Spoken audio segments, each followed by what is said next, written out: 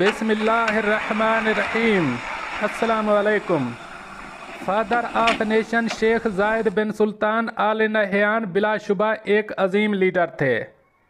ان کی ذات کے کچھ ایسے پہلو بھی ہیں جو کبھی عوام کے سامنے نہیں آئے۔ انہوں نے اپنے بڑے بھائی کے خلاف بغاوت کیوں کی؟ انہیں جلا وطن کیوں کیا؟ ان سوالوں کے جوابات تاریخ کے دھندلے ورقوں میں ہیں، جن کو پڑھ کر ہم جان سکیں گے کہ عظیم لیڈر بننے کے لیے کتنے مشکل فیصلے کرنے پڑتے ہیں۔ انیس سو اٹھائیس میں شیخ زائد بن سلطان آل نہیان نے اپنے بڑے بھائی شیخ شخبوت بن سلطان کو ابو زیبی کا امیر بناتے وقت اپنی ماں سے وعدہ کیا تھا کہ وہ اس کی کبھی بغاوت نہیں کرے گا۔ اور اس نے یہ بھی قسم اٹھائی تھی کہ اس کے تین اور بھائی بھی کبھی بغاوت نہیں کریں گے۔ اپنے بھائی کے خلاف دشمن کا ساتھ نہیں دیں گے اور ہر حال میں وفادار رہیں گے۔ شیخ زائد کی ماں نے اس سے پہلے اپنے بڑے بیٹے کو امیر بننے سے منع کر دیا تھا، لیکن وقت اور حالات نے ماں کو اس مقام پر لا کھڑا کیا جہاں پر ملک اور قوم کی خاطر اپنے چار بیٹوں میں سے ایک کی قربانی دینا پڑی۔ قرا شیخ شخبوت کے نام نکلا، لیکن اسے کیا پتا تھا کہ چھوٹا بھائی ماں کی دی ہوئی قسم توڑ دے گا۔ شیخ زائد کے دادا اٹھارہ سو پچپن میں ابو زیبی کے امیر منتخب ہوئے۔ اس سے پہلے ان کے پردادا برطانیہ کے خلاف دسیوں سال جنگ لڑ چکے تھے۔ امن کا پہلا معاہدہ اٹھارہ سو بیس میں طے ہوا، لیکن ایسٹ انڈیا کمپنی تجارت کے بہانے سے خلیج فارس کے کنارے بستیوں پر قبضہ کر رہی تھی۔ اٹھارہ سو بیانوے تک حالت یہ ہو چکی تھی کہ شارجہ دبئی ابوظہبی کے شیوخ گوروں کے علاوہ کسی اور سے تجارت نہیں کر سکتے تھے۔ امارات کی فارن پالیسی خرجہ تجارت پر ایسٹ انڈیا کمپنی کا مکمل قبضہ ہو چکا تھا۔ انیس سو نو میں شیخ زائد بن خلیفہ آل نہیان کے انتقال کے وقت متحدہ عرب امارات برٹش انڈیا کا حصہ بن چکا تھا اور انڈین روپیہ بطور کرنسی استعمال ہوتا تھا۔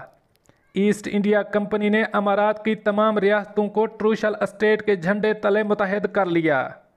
انیس سو نو میں شیخ زائد بن خلیفہ آل نہیان کے انتقال کے بعد مختلف بیویوں سے اس کے بیٹے ابو زیبی کا امیر بننے کے لیے ہر حد پار کرنے کو تیار ہو چکے تھے۔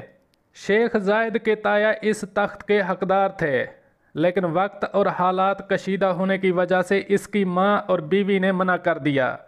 قبیلہ بنی یاس میں امیر کو قتل کر دینا کوئی بڑی بات نہیں تھی۔ انیس سو نو سے انیس سو اٹھائیس تک شیخ زائد کے سوتیلے چچا متحدہ عرب امارات کے حکمران بنے۔ اس دوران یورپ جنگ اول عظیم میں مشغول ہو چکا تھا۔ وہیں سلطنت عثمانیہ کے حصے ایسے تقسیم ہو رہے تھے جیسے خون خار درندے بکری کا گوشت تقسیم کرتے ہیں۔ حالات اتنے بگڑ چکے تھے کہ شیخ زائد کے والد نے تختہ الٹ کر اقتدار پر قبضہ کر لیا۔ لیکن تنگ دستی جنگ عظیم اول کی وجہ سے تھی۔ تو حکمران بدلنے سے حالات کیسے بدلتے؟ اس کے چار سال بعد سکر بن زائد نے کھانے پر بلا کر شیخ زائد کے والد شیخ سلطان اور بھائی پر پیچھے سے حملہ کر دیا۔ زخمی بھائی جان بچا کر بھاگنے میں کامیاب ہو گیا۔ شیخ زائد اور اس کے دو بھائی بریمی کے نخلستان میں پناہ لیے ہوئے تھے۔ حالات کو دیکھ کر شیخ زائد کے تایا نے بھائی کے قصاص میں سوتیلے بھائی کو قتل کروا دیا۔ حالات سدھرنے لگے تو تایا نے بھتیجے کو اقتدار سنبھالنے کی دعوت دی۔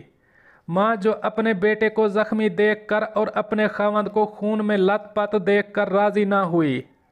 لیکن عوام شیخ سلطان کے بیٹوں میں سے کسی ایک کو امیر بنانا چاہتے تھے۔ آخر کار قرا منچلے بیٹے شیخ شخبوت کے نام نکلا۔ پھر بھی شیخ سلمہ نے اپنے تینوں بیٹوں میں سے وعدہ لیا کہ کبھی اپنے بھائی کے خلاف بغاوت نہیں کریں گے۔ تقدیر کا کھیل کچھ اور ہی تھا۔ دوسری جنگ عظیم کے دوران امریکی، برطانوی اور فرانسیسی کمپنیاں مڈل ایسٹ میں زیادہ سے زیادہ تیل کے کنوؤں کو سمیٹنے میں لگی ہوئی تھیں۔ لیکن برطانیہ نے عرب امارات پر پابندی لگا رکھی تھی کہ وہ برطانیہ کے علاوہ کسی اور ملک سے سودا نہیں کر سکتے۔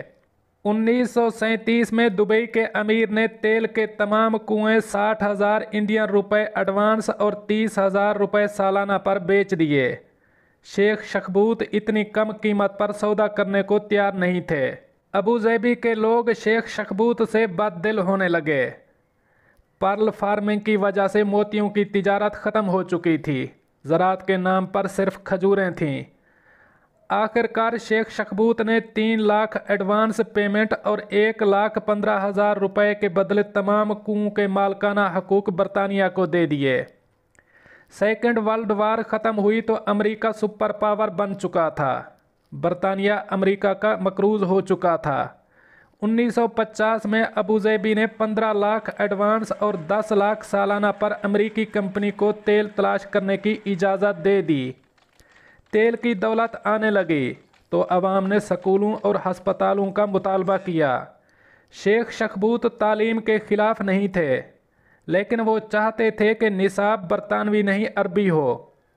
وہ ہسپتال کے خلاف نہیں تھے، لیکن پردے کا مکمل انتظام چاہتے تھے۔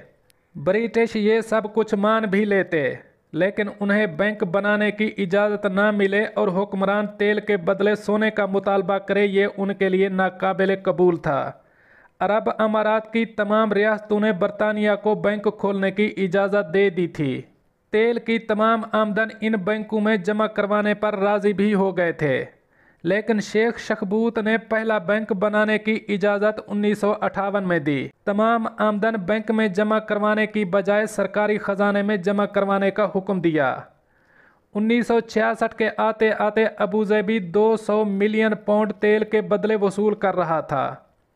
اگر یہی حالات رہتے تو برطانیہ دس سال میں دیوالیہ ہو جاتا۔ شیخ زائد نے بھائی کو سمجھانے کی کوشش کی، لیکن وہ نہیں مانے۔ کیونکہ وہ سمجھتے تھے کہ اس کے والد کے قتل میں برطانیہ کی تیل کمپنی کا ہاتھ تھا۔ شیخ زائد نے ابوظہبی کو خطرے میں دیکھ کر بھائی کے خلاف اپنے دشمن سے ہاتھ ملا لیا۔ عمانی بلوچ سکاؤٹ فوجی دستوں کی مدد سے شیخ زائد نے تخت پر قبضہ کر لیا۔ بڑے بھائی کو جلاوطن کر کے برطانیہ کی تمام شرائط مان لیں۔